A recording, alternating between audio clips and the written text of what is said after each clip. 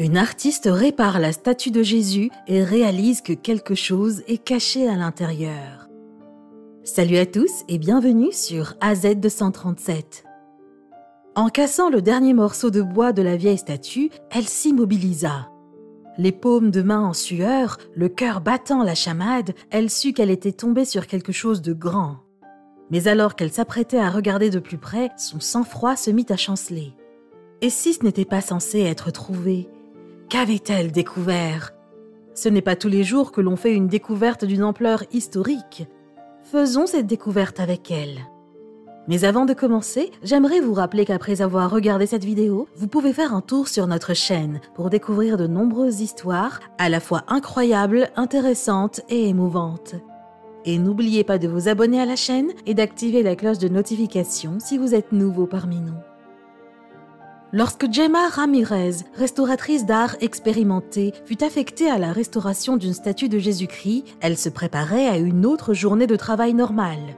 En se rendant à l'église espagnole Santa Agueda, elle ne savait pas du tout qu'elle passerait une journée comme aucune autre. Alors que son équipe et elle se dirigeaient vers la statue dans les allées de l'église, elle prit un moment pour se souvenir de ses ancêtres. Elle pouvait presque sentir le temps passer devant elle. Elle imaginait la construction des caractéristiques minutieusement inscrites et la présence dominante de quelque chose de sacré. Mais avant de pouvoir se tourner vers son collègue pour lui faire part de ses commentaires, elle remarqua, de façon déconcertante, que deux bougies s'éteignirent à leur passage. Elle n'était pas étrangère aux sites religieux et aux objets sacrés. En tant que restauratrice d'art expérimentée, ayant travaillé sur un certain nombre d'objets anciens, elle avait l'habitude de se trouver dans des lieux spirituels et des terrains tranquilles. Cependant, elle sentit que quelque chose n'allait pas dans cet endroit. Elle ne savait tout simplement pas quoi. Son esprit cherchait en avançant.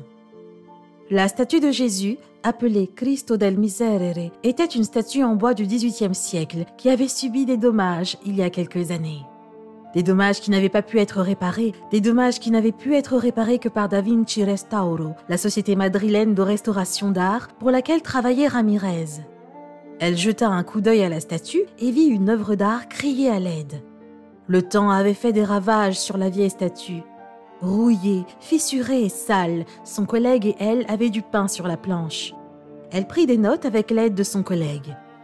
Ils détaillèrent les zones endommagées spécifiques de la statue et indiquèrent leur gravité et les soins dont chacun aura besoin. Lorsqu'elle retourna la statue, elle perdit prise.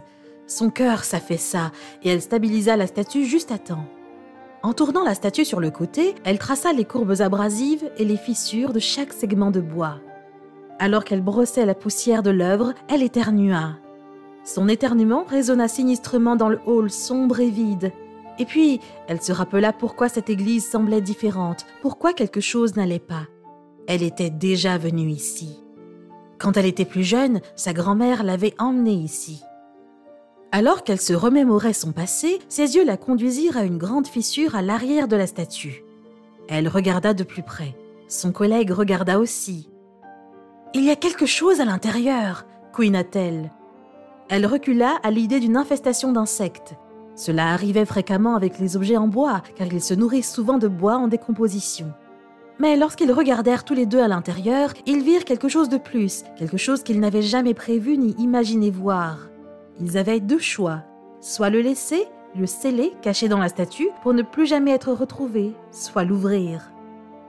S'ils l'ouvraient, ils pourraient révéler quelque chose qui pourrait réécrire l'histoire. Devait-il faire la lumière sur quelque chose qui avait été conçu pour rester caché? S'il le laissait, ignorait-il quelque chose qui devait être connu et découvert? Le sort de l'histoire était entre leurs mains. Le cœur de Ramirez se mit à battre lorsqu'elle souleva le dernier morceau de bois de la statue de Jésus-Christ. Son collègue, sur la pointe des pieds à ses côtés, regardait avec impatience par-dessus son épaule pour apercevoir la grande révélation.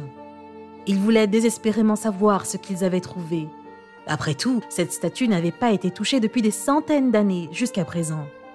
Ramirez leva finalement le cadre en bois pour révéler leur mystère caché. Ils se tenaient tous les deux debout, les yeux écarquillés et sans voix, alors que deux parchemins en cuir, érodés par les intempéries, se mettaient en évidence. Avec précaution, Ramirez tendit la main pour regarder de plus près. Qu'est-ce que c'était? Qui aurait pu écrire ces vieux parchemins? Et pourquoi? Elle était sur le point de le découvrir. Celui qui avait secrètement placé les parchemins à l'intérieur de la statue avait évidemment prévu qu'il résiste au ravage du temps. Fabriqués en vélin, une fine feuille de cuir connue pour sa résistance, les parchemins étaient dans un état lisible. En revanche, si le message secret avait été écrit sur du papier, il n'aurait pas duré longtemps.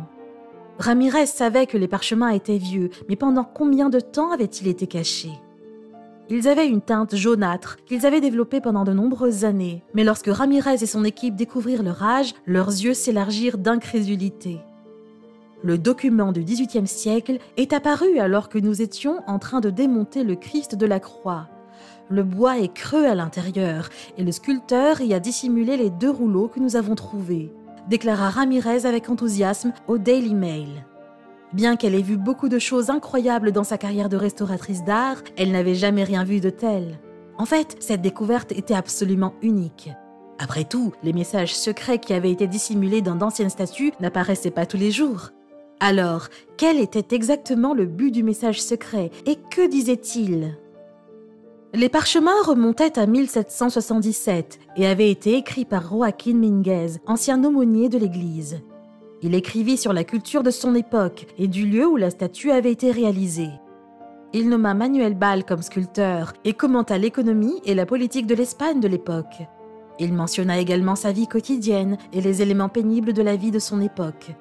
Les deux restaurateurs se recroquevillaient au fur et à mesure que les détails se précisaient.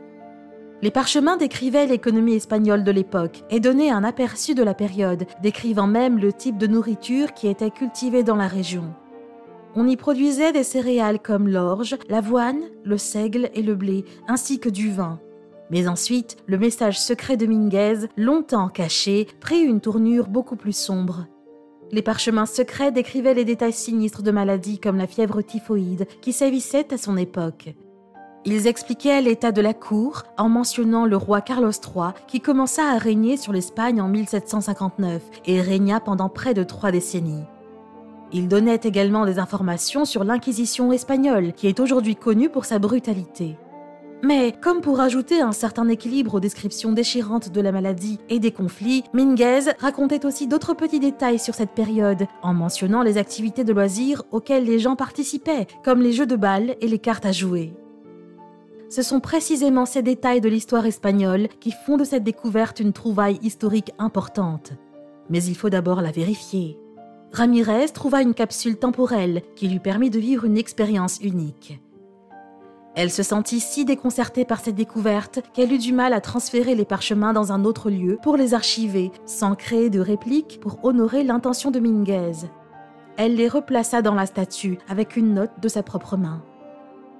Il voulait laisser un souvenir de leur expérience à leur époque, déclara-t-elle, et elle fit gracieusement de même. Combien d'années faudra-t-il à la prochaine génération pour redécouvrir cette merveilleuse capsule témoin? Quelle est votre opinion au sujet de cette histoire? Dites-le nous dans les commentaires. Si vous avez aimé cette vidéo, alors cliquez sur le bouton j'aime et partagez-la autour de vous. À très bientôt sur AZ237.